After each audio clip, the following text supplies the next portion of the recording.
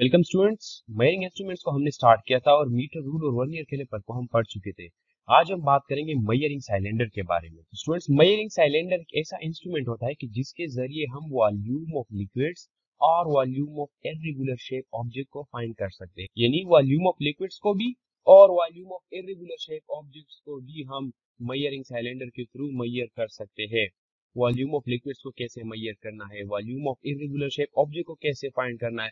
Irregular shape object होते क्या है और क्यों उनका वॉल्यूम जो है वो हम मैयरिंग सिलेंडर के थ्रू ही मैयर करते हैं? इन क्वेश्चंस के बारे में बात करेंगे हम इसी वीडियो में। तो सबसे पहले हम बात करते हैं इस मैयरिंग सिलेंडर के बारे में। तो मैयरिंग सिलेंडर जो होता है वो ट्रांसपेरेंट ग्लास और प्लास्टिक से बना होता है। यहाँ पे इस ट्रांसपेरेंट वर्ड का मतलब ये है कि जो भी चीज़ हम मेयरिंग सिलेंडर के अंदर डालेंगे वो हमें बाहर से विजिबल होगा।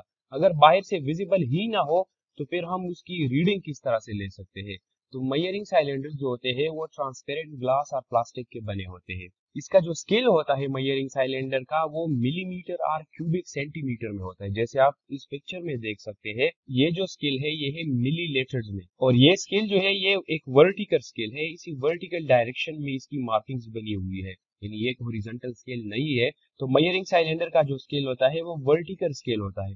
और या तो ये मिली, मिलीलीटर में होता है और या क्यूबिक सेंटीमीटर में होता है। जो साइजेस होते हैं मैयरिंग साइलेंडर के, वो डिफरेंट साइजेस होते हैं। ये जो मैयरिंग साइलेंडर है, ये 250 एम तक मैयर कर सकता है। हो सकता हो दूसरे मैयरिंग साइलेंडर 500 एम तक फाइंड कर सके।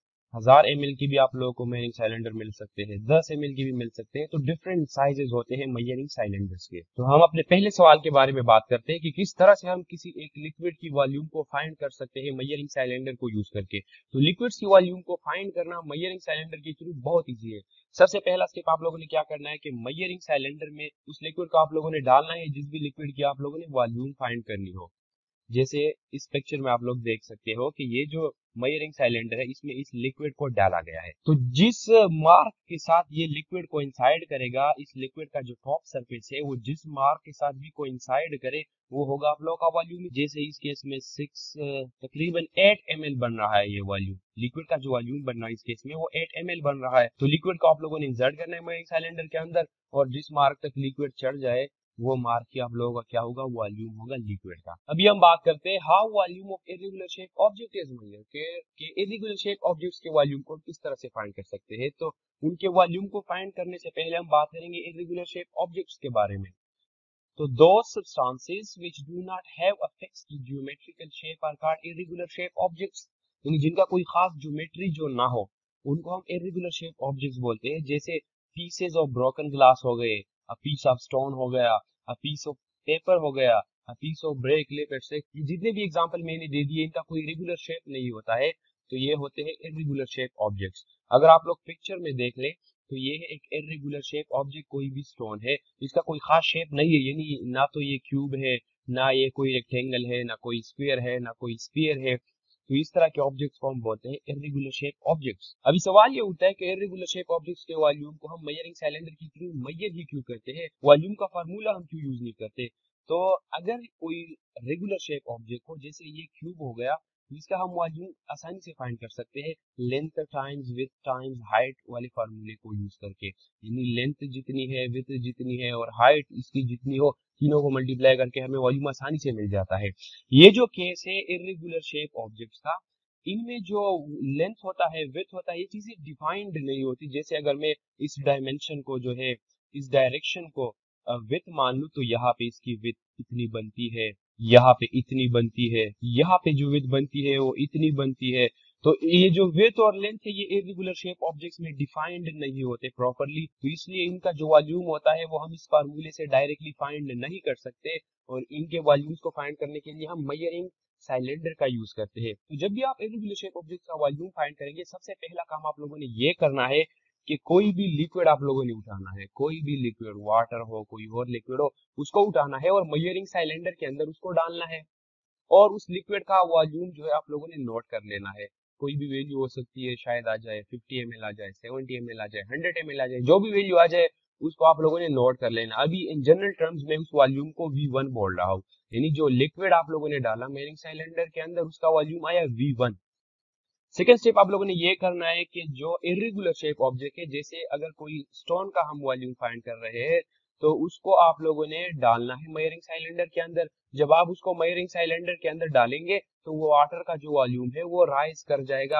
यानी उसकी वॉल्यूम की वैल्यू बढ़ जाएगी। आप लोगों ने ये फाइनल वॉल्यूम भी नोट कर लेना है। इन जनरल टर्म्स मैंने इस वॉल्यूम को बोला V2 फिर आप लोगों ने क्या करना है कि चेंज इन वॉल्यूम को निकालना है। डेल्टा बी डेल्टा यू को हम निकाल सकते हैं V two minus V one यानी फाइनल वॉल्यूम से इनिशियल वॉल्यूम को सब्ट्रैक्ट करके हम चेंज इन वॉल्यूम को निकाल सकते हैं। तो ये जो चेंज इन वॉल्यूम है, यही होगा हमारा इरेगुलर शेप ऑब्जेक्ट का वॉल्यूम अब इसको हम एक एग्जांपल के थ्रू समझ लेते हैं कि हमने एक मयरिंग साइलेंडर को उठाया और उसमें हमने किसी भी लिक्विड को डाला और उसका वॉल्यूम आया 20 एम फिर हमने इरेगुलर शेप ऑब्जेक्ट को डाला तो ज़ाहिर बात है वॉल्यूम राइज करेगा और वॉल्यूम राइज होकर 27 एम बना।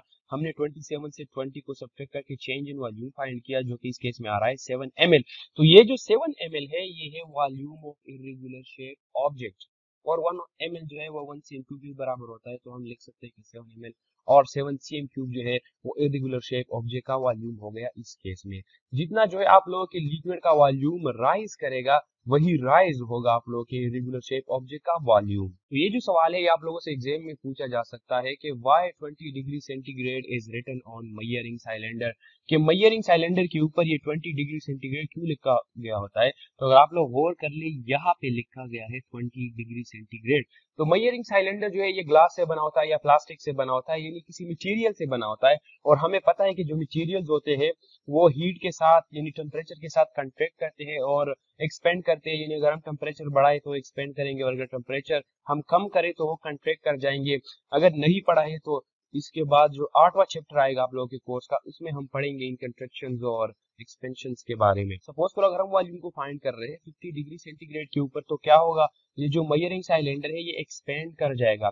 मैं अभी इसको एग्जेजरेटेड व्यू में बना रहा हूँ, यानी इसको बहुत ज़्यादा बड़ा करके बना रहा हूँ। इतना ज़्यादा ये एक्सपेंड नहीं होगा, पर हो सकता है कि ये कुछ इस तरह से बन जाए। तो ये जो है इस तरह से एक्सपेंड कर सकता है टेम्परेचर के साथ। अगर हम किसी हाई टेम्परेचर पे रीडिंग्स ले रहे हैं तो सपोज़ करो अगर हम इसी मयरिंग साइलेंडर के ऊपर 20 डिग्री सेंटीग्रेड पे हुआ वाटर को डाला हुआ था तो उसका वॉल्यूम बनेगा ये, यहाँ तक।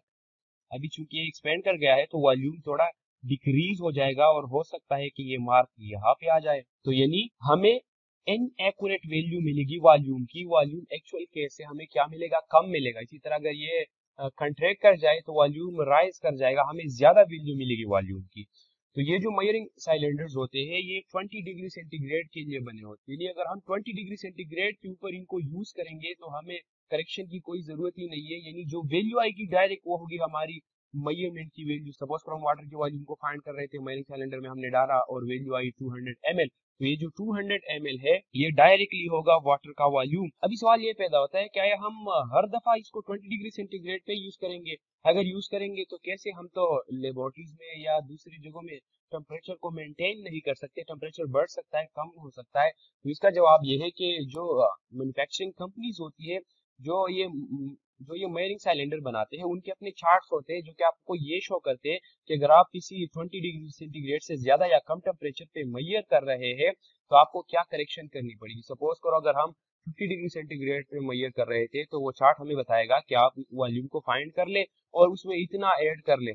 सपोज़ करो कि उसने बताया कि टू एम ऐड कर ले तो जब हम 50 डिग्री सेंटीग्रेड पे जहाँ fifty degree centigrade volume find करेंगे और वॉल्यूम की वैल्यू सपोज़ करें कि जूम करते हैं कि निकल आई 50 एम तो हम उसमें 2 एम ऐड कर देंगे और हमारी वैल्यू बन जाएगी 52 एम तो 20 डिग्री सेंटीग्रेड पे अगर हम यूज़ करेंगे तो हमें कोई करेक्शन की ज़रूरत नहीं है.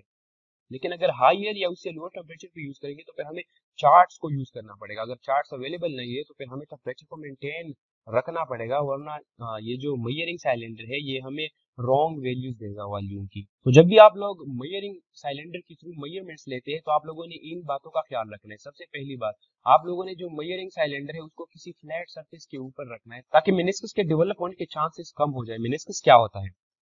तो सपोज़ करो किसी भी ट्यूब में हमने किसी लिक्विड को डाला तो लिक्विड का जो अपर सरफेस होता है, वो इस तरह से बेंड करता है। तो ये जो बेंड शेप है किसी भी लिक्विड का, इसको हम बोलते हैं मिनिस्कस और मिनिस्कस के केस में हम क्या करते हैं कि जो लोअर मार्किंग होती है वो रीड करते हैं। यानी अभी इसमें आ, अगर आप लोग देख लें तो आप कंफ्यूज होंगे कि ये है एक्चुअल वॉल्यूम या ये है एक्चुअल वॉल्यूम तो इस केस में जो एक्चुअल वॉल्यूम है वो होगा लोअर मिनिस्कस जिस मार्क के साथ कोइंसाइड कर रहा है यानी ये 20 एम होगा और 19.8 नहीं होगा ये जो अपर मार्क को इंसाइड कर रहा है ये नहीं होगा क्योंकि मेनिस्कस के केस में हमने लोअर मेनिस्कस को रीड करना होता है। तो ये डिपेंड करता है अगर इस तरह का मेनिस्कस हो यानी कनकेव अप मेनिस्कस हो तो फिर हमने लोअर मार्क को जो है वो रीड करना होगा। लेकिन अगर ये मिनिस्कस जो है कनकेव डाउन मिनिस्कस हो तो फिर हमने क्या करना होगा कि अपर मिनिस्कस को रीड करना होगा। इस पार्ट को हमने रीड करना होगा। तो आप लोगों ने देखना है क्या कनकेव डाउन मिनिस्कस बन रहा है या कनकेव अप मेनिस्कस बन रहा है। कनकेव अप मेनिस्कस के केस जो लोअर मिनिस्कस है, उसको रीड करना है और कनकेव डाउन के केस में आप लोगों ने अपर मिनिस्कस को रीड कर लेना है। इसी मरीन सैलेंडर के टॉपिक में आप लोग के एग्ज़ाम यूनिट कन्वर्जन के बारे में पूछा जा सकता है। तो मैंने एक सवाल उठाया हुआ है और वो है कि a cube has one side of 10 centimeter, find its volume in cubic meter and cubic centimeter. तो हमें पता है कि जो वॉल्यूम का फार्मूला होता है होता है length times with times height और क्यूब जो होता है, उसकी प्रॉपर्टी होती है कि उसके सारे जो डायमेंशन होती है आपस में बराबर होती है. यानी सारे साइड्स की जो लेंथ होती है आपस में बराबर होती है. तो हमने विथ और हाइट को जो है, वो भी लेंथ से रिप्लेस कर लिया. तो ये बन गया length times length times length यानी जो वॉल्यूम बन गया क्यूब के केस में, हो गया लेंथ क्यूब अभी हमें एक साइड की डायमेंशन दी गई है, वो टेन है तो टेन को जब हमने यहाँ पे क्यूब कर लिया तो ये बना ten cube into cubic centimetre और ये बन गया थाउज़ेंड क्यूबिक सेंटीमीटर यानी जो वॉल्यूम बन गया क्यूबिक सेंटीमीटर में, वो आया थाउज़ेंड क्यूबिक सेंटीमीटर अभी हमने क्या करना, इसी थाउज़ेंड क्यूबिक सेंटीमीटर को हमने क्यूबिक मीटर में कन्वर्ट करना है। हमें पता है कि जो वन मीटर होता है, वो हंड्रेड सेंटीमीटर के बराबर होता है। तो वन मीटर हो जाएगा ten to the power two centimetre अगर हम बहुत साइड को क्यूब कर ले तो वन मीटर क्यूब बन जाएगा ten to the power six cubic centimetre हमें चाहिए वन क्यूबिक सेंटीमीटर की वैल्यू तो हम ten to the power six को बोथ साइड से डिवाइड कर लेंगे और ये यहाँ से जब ऊपर चला जाएगा तो वन तो वन क्यूबिक सेंटीमीटर बन जाएगा ten power minus six cubic metre अभी हमने अपनी प्रीवियस वैल्यू को उठाया है जो थाउज़ेंड क्यूबिक सेंटीमीटर है। ये ten power three cubic centimetre और वन सेंटीमीटर और वन क्यूबिक सेंटीमीटर की जगह हमने अपनी ये वैल्यू पुट कर ली ten power minus six cubic metre तो जो वॉल्यूम बन गया क्यूब का क्यूबिक मीटर में, वो बना ten power minus three cubic metre तो इस तरह से आप लोग क्या कर सकते हैं? यूनिट कन्वर्जन कर सकते हैं। ये बात आप लोगों ने खास तौर पर नोट करिए कि जो वन क्यूबिक सेंटीमीटर होता है वो वन एम के बराबर होता है। जैसे इस केस में थाउज़ेंड क्यूबिक सेंटीमीटर आया हुआ वॉल्यूम तो ये थाउज़ेंड एम के भी बराबर है।